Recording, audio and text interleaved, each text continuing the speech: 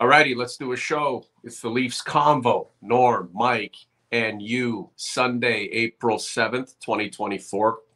The day after the Leafs beat the Habs 4 2 at Centre Bell. Uh, beat them on the score sheet, uh, beat them physically, and the Leafs now have six to play, wrapping up the regular season, getting set for what we believe could be a tilt with the Florida Panthers. How would that be for a rematch to kick off the 2024 Stanley Cup Players playoffs, Mr. Augello? Good morning. How are you? What's on your mind? Good morning, Norm. Um, well, I mean, it, it's it's funny because I'm I'm harkening back to I think it was 2012, 2013. It was the year that the Leafs made the playoffs, breaking the nine year um, playoff drought and they went into the Bell Center with Colton Orr and Fraser McLaren and beat the shit out of the Habs. Um, you know, I mean, not to say that that last night was the was the equivalent of that, but you know, you said beat him on the scoreboard, beat him in the alley. That was sort of, uh, you know, Ryan Reaves um, after sort of not getting jumped, but he got I think he got the lesser of the the two in the Arber Xhekaj fight in the uh, in the season opener.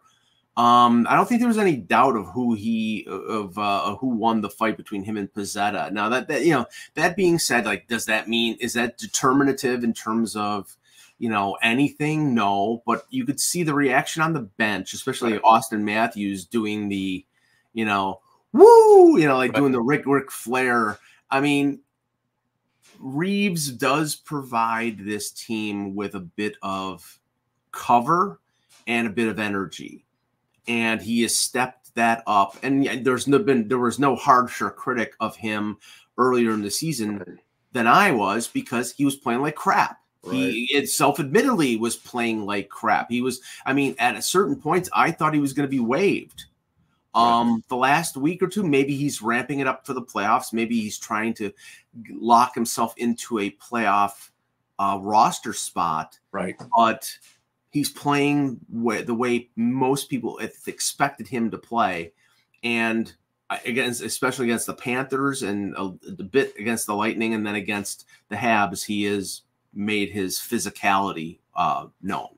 This is the Leafs Convo for Oak Ridge Ford in London, Ontario, oakridgeford.com. You know the spiel. There's always a program going on that will benefit you, whether new, used, retail, lease, truck, SUV, electric, internal combustion engine. I have got you. April is really frenetic at the dealership at Norman Oak Ridge Ford. I have your next vehicle. And to the OGs and converts who reach out to me on the daily uh, for my assistance, in um, helping them uh, purchase a vehicle or even just uh, kind of lay out the groundwork for a, a potential buy in the future. Uh, thank you very much for reaching out to me. I do not take it lightly and I appreciate it very much. Uh, there's a lot to unpack here, Mike. Usually we try to have a short show and they go long. OGs and converts love that very much. Just quickly on Reaves, Mm-hmm. You know, um, he's delivered of late, it's been consistent, and your reaction to it, Mike, in kind shows that you know you can evolve your stance based on a player producing.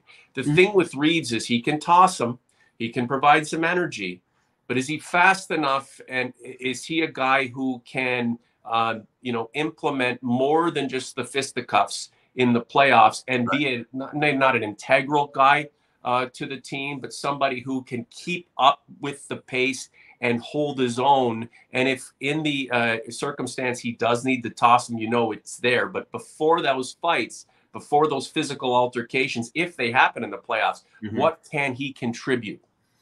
Well, I mean, as you know, and as everybody knows, fighting pretty much goes by the wayside in the playoffs unless it's garbage time at the end of the game and it's 5 2 or something like that, and somebody wants to change the momentum or something of that nature. I think what you saw uh, in the game against Florida earlier in the week is, I think, what Reaves would bring. I mean, you're maybe not going to mess with anybody when Reaves is in the lineup because he's going to call you to account. Now, right. now that means you know it's not going to be where he's going to get suspended like an idiot uh, right. a few years ago did.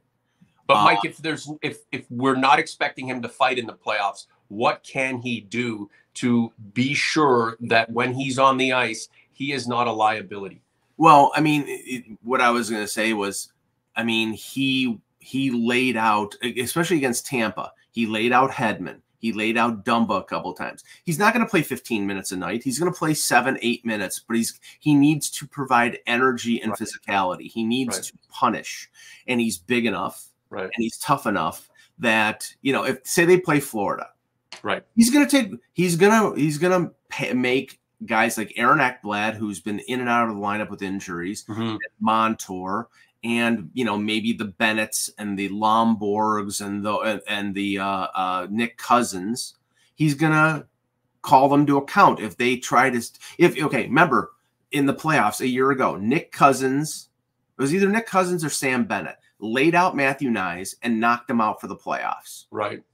I don't know whether that's going to happen because th- this time around, simply because if they do that, then okay. Ryan Reaves is going to go is going to go at Barkov or go at Tkachuk. Right. It's the, it's the old thing, Norm, that we talked about in and I mentioned this before in '93 and '94. Um, Wendell Clark was going at Gretzky in game one of the of the famous series against the Kings, and McSorley said, You keep going after Gretzky, I'm going after Gilmour. And then then he did. He hit Gilmour at center ice, and then there was the famous right. fight between Wendell and McSorley. The following year, um, Gino Odjick was going at Doug Gilmour again the in the conference final, and Wendell Clark skated to the bench and says, He keeps doing that. I'm going at that mother, and he pointed at Pavel Bure. Yeah. It's a calming effect. It's it's like you you know mutually assured destruction. Destruction. You do that, I'm doing this. You think that's Neanderthal talk, but it's necessary in these playoffs. Mike, I'm getting excited for Leafs Panthers if it's meant to be in the first round, and I love when you recollect and reminisce about the great one seven Wendell Clark. He is your hockey hero, and uh, rightfully so. What a player of wax. And yeah, we we can uh, dream about the the days when hockey was just absolutely crazy and mad. Things have changed, and uh, we move on. I do want to get to a couple of comments here. Jason M. The Leafs playoff snot is about to cause teams problems in a couple of weeks. Thanks, Jason. Spike 11, a convert. Boston and Florida are fake tough. Leafs showing that they won't get pushed around anymore. Love Reaves and Spike's been uh, on Team Reaves throughout the entire season. And of course, the OG, Michael Matthew. Uh, in the Caribbean right now, but says he's coming up for for the playoffs. Mike, we're glad to have you back. Uh, he will finish off checks to the D man and wear them down in the playoffs. Mike, uh, the the win last night, the excitement of the playoffs to come, the way Reaves is playing. We'll talk about Auston Matthews, the return of Marner on uh, Nylander about to hit a hundred points, the stabilization of Ilya Samsonov between the pipes. There's an optimism right now, Mister Augello. Mm-hmm. Yeah, no, and, the, and the, I think you're gonna pour the cold water. Well, no, no, I'm not. I'm not. I'm not gonna pour the cold water. But I, but you know, I, I I'm I'm looking at it objectively. Right. And I look at this team and whether they are better than the team that was in the playoffs last year.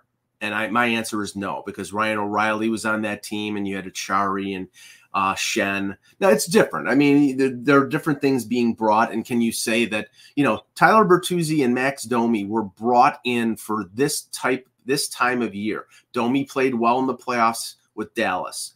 Bertuzzi was the best player probably on the Bruins against Florida. So um, they were brought in. They brought in Joel Edmundson, who was a you know won a Stanley Cup in St. Louis, went to a Cup final with with Montreal. Big tough defenseman. Yeah. You know he's probably going to get in the lineup the last few games this season. I think they're just making sure he's hundred as close to 100 percent healthy as possible. Right. You know they get Järnkrok back. We'll talk about the lineup stuff in a minute. But what I'm saying is it's not all on all on Ryan Reaves to be the toughness. You've got enough players there like Edmundson, like Jake McCabe, who steps up physically, like Simon Benoit if he gets in the lineup. He helps um, enable the toughness, though, Mike. Right? Yes. Yeah. No, I, I, think he, I think he infuses the team with energy, and right. you know, like okay. I said, you saw you saw Batman. Now, Man, Auston Matthews is not going to take runs at people. But obviously, if he's physical because he's a big body and he right. wins puck battles along the wall, right. and Domi and Bertuzzi are are like playing like their hair is on fire. I love it. Oh, I love it. And then you know that then that that is to the benefit of the Leafs. But again, um, they're going to play a style that they are no not mm-hmm. accustomed to. Right. Um, you know, because that hasn't been the uh, agenda for most of the year. Whereas Florida plays that game all the time. Um, that's the that you know that's their bailiwick. That's what they that's what they do. Tkachuk is a pain in the ass. Right. Uh, Lomberg and and Cousins stir the pot. Bennett, Mike Arnav, yeah. good luck against Florida, man. The whole team would need to bring 100 yeah. and absorb hits. Yeah, yeah, and, and that's what I'm saying. It, it, can't be all on Ryan Reaves to be the, the right. to be the sheriff. It's going to have to be you know team toughness, and I, I, I I'm pretty sure it was McCabe. Somebody hit McCabe, and the, the, the Leafs had a power play, and McCabe held back one of his teammates from taking an act of retribution. And it's like that's the kind of smart stuff. You know, when you get a power play in the pop in the playoffs, you need to be able to, you know, think smart, not take the retaliatory penalty, get the power play, and, and make him make him hurt where it hurts the most on the scoreboard. But this team against Florida, and right now it's starting to look like it's going to be Florida because Tampa lost in regulation yesterday to Pittsburgh, but and Toronto won. So now they're four points up on the Lightning with a game in hand. So more than likely, unless it gets down to two points and Tampa Bay wins late in the season when the Leafs are there, it's probably going to be Florida. Florida lost to Boston. It looks like Boston's going to win win first place, and Florida's going to be in second if it's Florida Toronto, you know, gird your loins up, folks. It's going to be go. it's going to be a mother. Let's go, OG's Conference. Like the content, subscribe to the channel. I, I see you. I appreciate your contributions. Everybody has something to say. I can't get to all the comments in the chat, but come on back for the, the replay on YouTube. Leave your comments there. Interact with the other OGs and converts. Uh, we're having a great time as, as season six winds down. How long will we continue? um, this this particular batch of content uh, from your friendly neighborhood Leafs convo? Well, that really depends on the Maple Leafs. Will it be three more weeks after today or three more months? Wouldn't it be nice if we can keep going uh, on and on, doing three, maybe four shows a week based uh, around the Leafs and their uh, protracted run through the playoffs? Uh, that would be the, the best thing ever, OG's conference. I know you feel the same way. You know, if the Leafs can beat Florida, if they do play the Panthers, or you know, whether it's in the first round or second round, they would be disrupting the potential or the the order of things because the, the Panthers, uh, you know, backed into the playoffs on the on the last day last season, and then went on a run, and you, they've got to believe that they have all the ingredients to finish the job this time. So, yeah. you know, the Leafs have their own agenda, but if they can beat Florida in that first round, that uh, that ascent that you'd think um, the Panthers are entitled to based on what they did last season would be completely um, uh, stopped and halted. And then maybe the Leafs create something of their own. Uh, it's it's it's just exciting right now, Mike. And, and you know, you and I have ridden the wave of of the, the way the Leafs play, and they're good, and then they're bad, and the, the you know fans are you know uh, frenetic about things. Where we are at this stage, as long as nothing uh, you know falls apart, nobody gets injured, the team kind of continues to uh, ramp itself up for the playoffs. They're in a, as good a damn position um, as they could have been. Auston yeah. Matthews. Did you want to leave? Uh, make yeah, no. Point? I was just gonna say that the Panthers last year are, were playing with house money, right? Oh, so this year that you know they're the favorite. If if, if they play the Leafs, they're the favorite for sure. Um, and and one thing you know, somebody in the chat brought it up.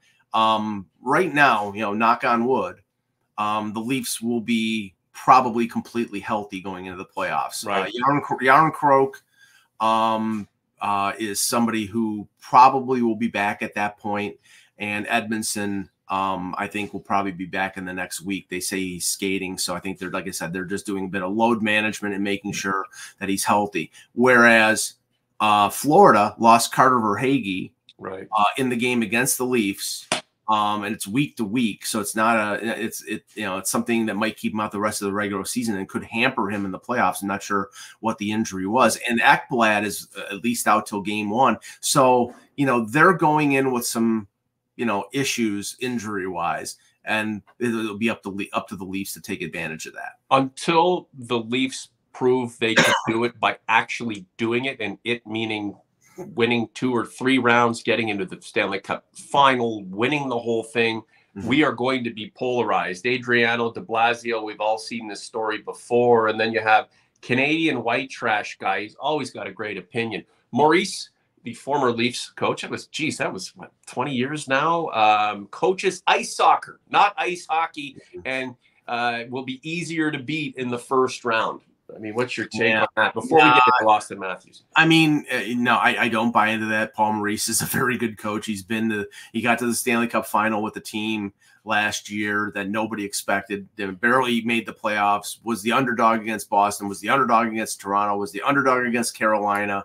You know, I mean, no, yeah, you know, I I, just, I think that uh, you know that team uh, and the job that he has done has been Im- Im- impressive. I mean, he's probably going to get some uh, Jack Adams votes. So, yeah, um, yeah he's Isak. Maurice's track record speaks for itself. Panthers have a, a coaching advantage, and until they don't, if the Leafs beat the Panthers because the the, the players just overcame the adversity and got it done Right. I mean, Sheldon Keefe may or may not get any credit there, but you know, I mean, it, the the coach isn't going to win you the series. I actually think Sheldon Keefe has done a pretty good job this year. I mean, I know there's the critics out there. I know, you know, some people don't like the lineups that he puts out. Some people don't like the pairings he puts together. Does don't like, the, you know, he's dealt with three goaltenders, with a ton of defensemen, with injuries. I think they've done a pretty decent job. You know, obviously it comes down to the playoffs. You know, last year he beat Jon Cooper, who's won a couple Stanley Cups, but you know, again, he was playing against the Leafs were playing against a gassed Tampa team. Um, I, he maybe he got out coached. I think the Leafs were just not a good matchup for Florida. Maybe they're more prepared to play Florida this year, but in the end, um, I you know, unless he makes some dramatic tactical error. It, it, you're right. It doesn't come down to the coaches. It comes down right. to the players on the ice and the positions that they're put in and what they do when the when when the the rubber heats meets the road. Yeah, and the Leafs are ramping up to be a, a physical group. Uh, 14 hits amongst the defensive core last night. Just about everybody uh, laying the body. And you know that's just something you're going to have to do if you want to be successful. As I've said over and over again. And it's true. If you and I are both the same skill level, eh, both same compete, both same endurance, but I'm tougher, I win. 100%. Auston Matthews, speaking of, speaking of tough as nails, I mean, uh, like th- this guy just keeps going and scoring. And, um, you know, I'm sure the bullshit he has to put up with, maybe not 80s esque, Mike, but it, it's there. 64 goals with six games to play. He's already scored 60 in his career. Mm. He's six goals away from 70. If, you know, as as, as you pointed out, um, if he picks up a hat trick between now and game 82, that, that puts him at 67, three to go to hit the 70 mark. No one has scored 70 with all the great goal, goal scores, the Crosbys and the, um, you know, the Ovechkins and you name it. Nobody scored 70 in the last 30 years. The last two to do it were Alex Mogilny and Teemu Selanne. Mm-hmm. And Auston Matthews, our boy, the maybe the best pure goal scorer of this generation, is six goals away from reaching that plateau. Do you think he can do it, my friend? It's possible. I think that, and obviously, the goal of this team is at the is pointed at the playoffs, and Matt, uh, Matthews is on. But this is a big. This is a big. I, I know, I know, I know, I know. But what what I'm saying is, unless he's at 69 in the last game, he's right. not in the last game. If right. he's at 67 and they're playing Florida, they're not. He's not playing because the, the goal here is to win in the playoffs. And if you put him out, and I, I think I used this example before, Patrice Bergeron, and this was at the end of his career, but Patrice Bergeron wanted to play in Montreal in game 82 for the Bruins because I think he's from he's from near Montreal. and he got hurt in that last game, and right. that tanked the Bruins playoffs. And so you know you you need Auston Matthews. I mean, he's twenty what twenty six years old. He, you know, I, I mean, it's not going to say you're going to have another opportunity to score 70 goals, but he's going to have to score he's probably going to have to score a hat trick in one of the next couple games to get close enough to get 70 before right. that last weekend. Uh, that, that but last, Mike, when Auston Matthews is going six goals in six games is nothing. And Edward Lee, wow, the sarcasm. Will there be a parade for 70 goals? I get it. You're, you're, you know, we're, of course it's the, the team objective and getting excited and ready for the playoffs and fully prepared. If Auston Matthews needs the rest, then give him the rest. But this is again a very big deal, something that hasn't been done in in 30 years. It's just is he as you pointed it out mike and you're correct about this and i'm sure matthews concurs the team concurs and the, the fan base at large uh, would believe the same thing. If he's in position to and it does not look like you know his um, the the opportunity could jeopardize his health or uh, you know future advancement of this team he's going to take it. Right yeah, no, that's why I think that's why I think he's going to have to score. And I'm just looking at their at their schedule here. Um, you know, they okay, so they have Pittsburgh back to back with New Jersey and Detroit in the next four games, three at home, and then they go for the back to backs uh, in Florida and Tampa Bay. Um, right. I would think that he plays the four games, the next four, and then he plays one of the two against Tampa or or Florida. Probably not the Florida game because you know Florida will take a Florida will take a run at him. I mean, I mean, again, you, you, that's why that's when it's important to have right. a guy like Reaves in the lineup. Right. You know that they're going to try to put a hurt on these guys because they they're going to play him in the first right. round of the playoffs. Okay. That, that's the way it's going to go. So you're, I you know, maybe he plays five of the six, right. but he's going to have to probably be at 68 or 69 to play in one of those last two games. OG's converts, what say you? I'll uh, put a, together a poll in the community portion of the YouTube page, youtube.com slash leaves combo slash community. Uh, we'll, we'll, I don't know. I'll come up. I'll come up with something uh, in, in, addition to you know coming up with a bunch of other things I need to do today to get things going. You know, Sundays uh, for me are just the, the precious hours to just accomplish things that have been that have been sitting around for the entire week needing to be done uh, in addition to this podcast. But uh, it's always a pleasure to, to join you mr Augello and the og's and converts to talk maple leafs especially right now where there's a bit of spirit and uh, optimism and we're, we're feeling um, excited about what's to come because it's a, another foray into the playoffs. And regardless of that uh, internal skepticism there is always the optimism in the back of our heads that maybe this is the year, even if it doesn't look like it. Uh, that all remains to be seen. What else did you want to hit on here, Mike? We wanted to keep it somewhat short. Did you want to break uh, break things down by position now, or did you want to wait a, a few well, games uh, to, to, get closer to the playoffs to do that? Well, I, I think we can, and I did this this week uh, on Hockey Buzz. Um, breaking down position by position, not like every guy. And no, no, but but you know, um, I think which team, if it's Leafs Florida mm-hmm. or Leafs anybody, do the Leafs have the advantage at forward regardless of who they play? No, they don't. I mean, against Boston, I think they have a clear advantage at forward. Against the Rangers and Carolina, I think they'd be about even. Against Florida, I okay. think Florida has the advantage. Right. Um, but now if Verhaeghe is out, you know that's one of their that's one of their pillars. So is that, that just the tenacity and the physicality of the yeah. Florida forwards? That, yeah, I mean, that outweighs what the Leafs can bring. The talent level there with Barkov, with okay. Reinhart, Lundell, with Bennett, and Verhaeghe if he's healthy. You know, the, they I mean, they don't have a 64 goal score, but Bennett is, uh, but Reinhart right. is second with 53. So right. they've, you know, they've got firepower, and their defense is is better than the Leafs. But the Leafs names, Na- are, names don't names don't mean names don't mean squat. Okay, it's okay. what they, it, you know, and you know, okay. The, you know, uh, Nylander's had a career year, and Matthews has got 60 some odd goals.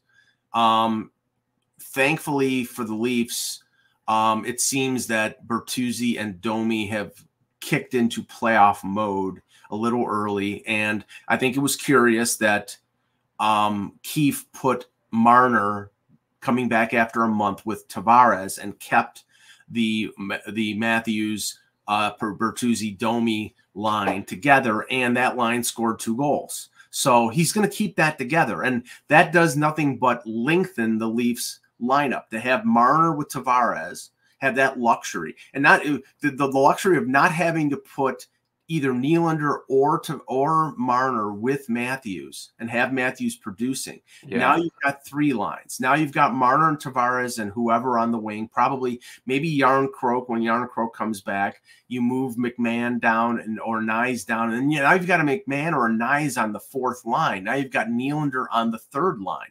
You right. know the the depth of that lineup that gives them.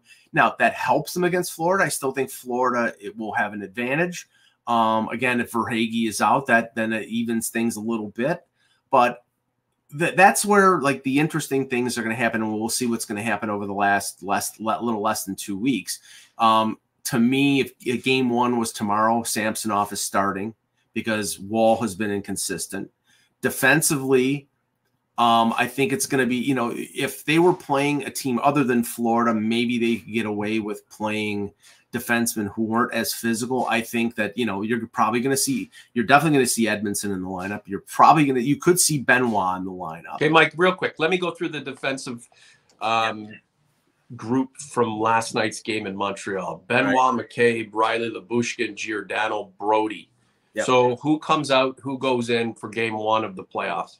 I think Rielly stays with Lyubushkin. I know people were critical of Lyubushkin, but the left right thing and Lyubushkin in terms of his, you know, he's a physical guy as right. well, so he's not going to get pushed around.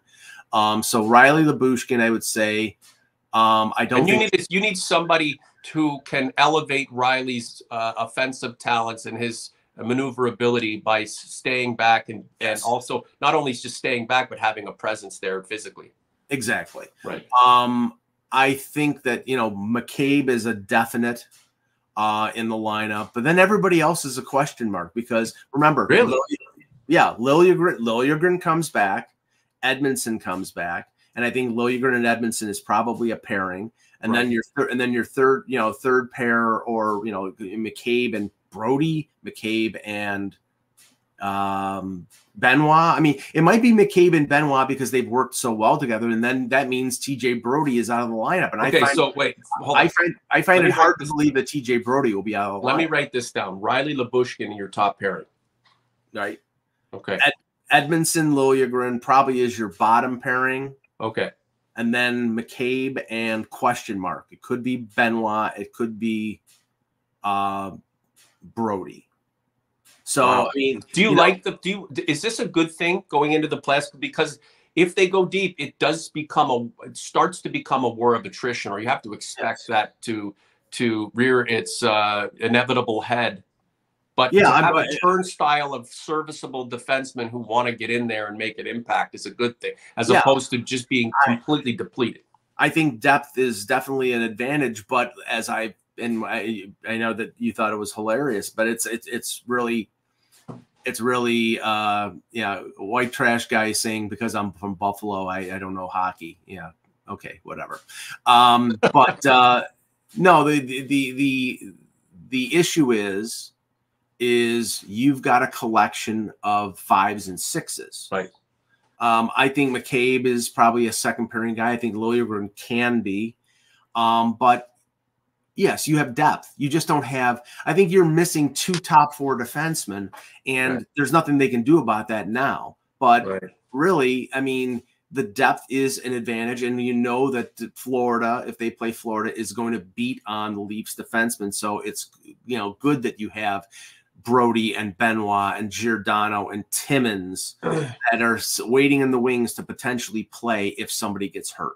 So we know the forward group will hold its own star power to star power equal if not a little bit better but its capability that we're wondering uh, about due to the fact that this forward group the core four and you know now the the extras um, you know, haven't had a chance to go on any kind of run or they have don't have the like a uh, you know playoff success to a level of uh, earning pedigree for mm-hmm. us to rely on when we're making the argument. But that remains to be seen if they can um, develop a, uh, a cohesion that leads to success. With the defensive group, it's a bunch of guys. The depth is there, all pretty decent. Mm. No major star power, you know, the the big number one stalwart that you know the Leafs have been missing. But it is what it is. Uh, it's nice that they do have enough bodies and guys who will be in the press box, seething and uh, champing at the bit to get in. What about the goaltending, Mike? It's um, talk about night and day, right? um, the the anticipation of Joseph Woll's return, so he can take his rightful place as number one, mm-hmm. while you know we watch um, Ilya Samsonov have a, a, a breakdown and then uh, fall apart and then nearly leave the team and then come back and just kind of cobble things together. And here he is, the guy that most fans would say um, are is the the feel good story of the season from the depths of despair to the, the pinnacle of goodwill.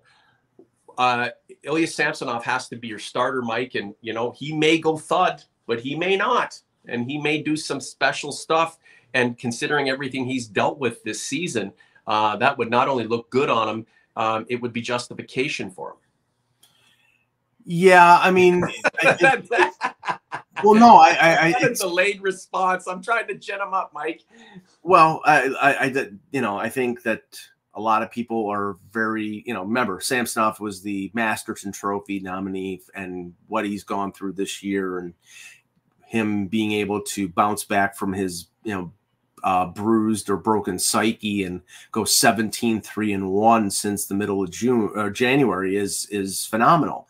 But we know that that can come back.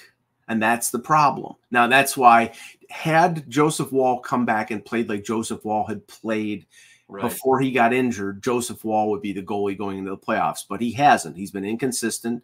Um, a three month layoff, a high ankle sprain. I think he, I don't think he's played badly, but I don't think he has been. You know, he stole games in early December. That game against Ottawa, he was incredible. I mean, you know, if he had just come back in the lineup and played that way, then I think you could have made a case for him to be the starter. Right. But Samsonov has been consistent. He's made, you know, he was really great in Buffalo last Saturday. You know, he's been really, he's been really good. But I do think that the one concern about him being your number one guy in the playoffs is that one bad goal can unravel him. And but that could happen to any goaltender, Mike. Yeah, but but but there's already evidence that it happened this year with him. Right. Now, you know, if he has the but mental, not in a different place. Does he not have a perspective now that maybe he didn't have at that time when things were falling apart? I, don't I I can't tell you that. Maybe maybe that's the truth, but I mean, let's just say this: I would prefer to have somebody who has a clean slate in terms of you know a psyche. It's it's sort of it's sort of like to use the to use the baseball uh, example somebody who's got the yips like Steve Sax right. at second base or Knoblauch right. couldn't make the throw to sec from second to first because of a, Men- a Mackey Sasser with the mets couldn't throw it back to the pitcher.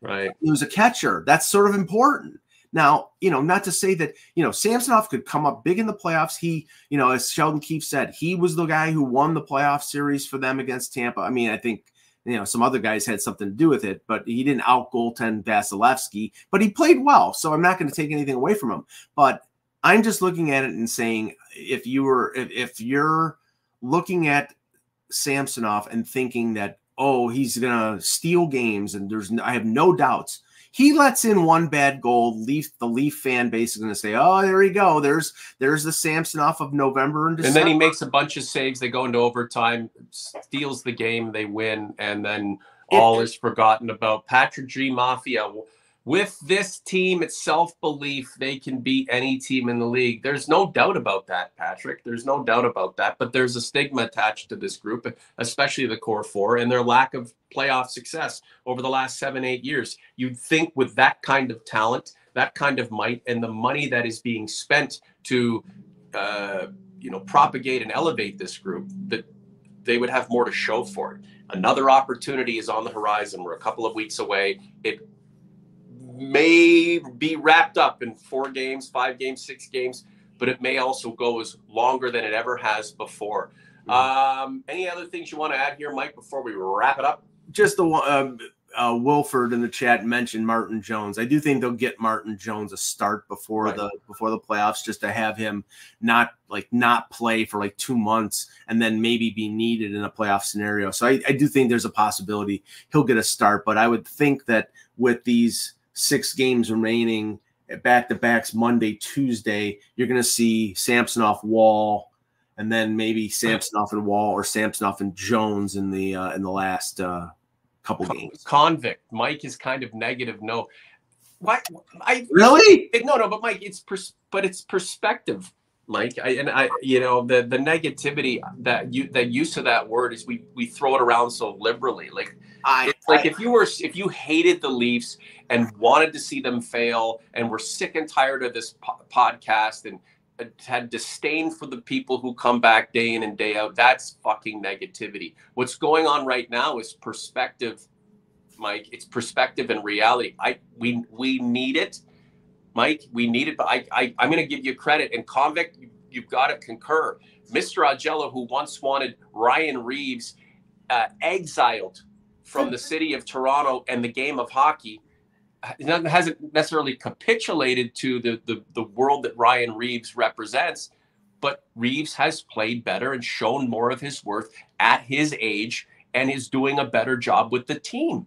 So what has Mike said? Yeah, he has. And he's patted him on the back for it, would like to see more. I don't know how that's negative, the perspective that we have on this game. And obviously the uh, the history that we have uh, being fans of this game and watching this game, you can't say it's been that um, fruitful, right? So to be in this place, I don't know why you wouldn't have, you know, uh, a slight bit of skepticism regarding, you know, what we're expecting from the team that we've devoted our uh, hockey fandom to. Last word to you, Mike. Yeah, uh, I would just say that um, you know it it does bear watching that uh, you know the, the, the race right now in the uh, that it's still alive uh, in, in, between the Leafs and Tampa Bay. Uh, that could sort of upset right. the apple cart, so to speak, uh, when it comes to uh, who they play in the first round.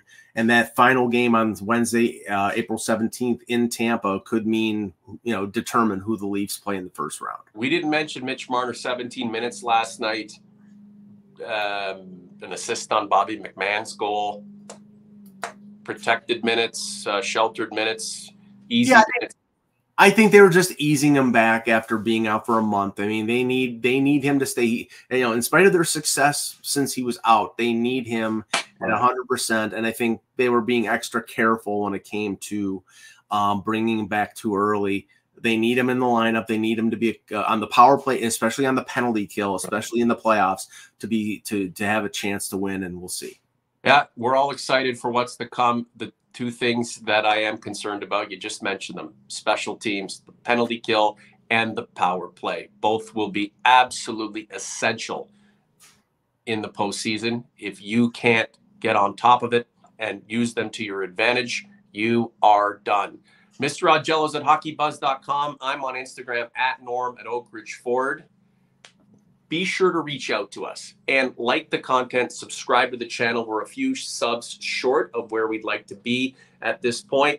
There's still time to help us out. We appreciate you very much, and we know you feel the same about us. Mr. A, let's try to get together here in the next couple of days. Let's not leave it till Sunday, but it's a busy week to come, so we'll have to put our heads together and uh, reconnect for another combo when the time is right. For Mr. A, I'm Mr. J, the Leafs Convo and the Sunday Spectacular is out.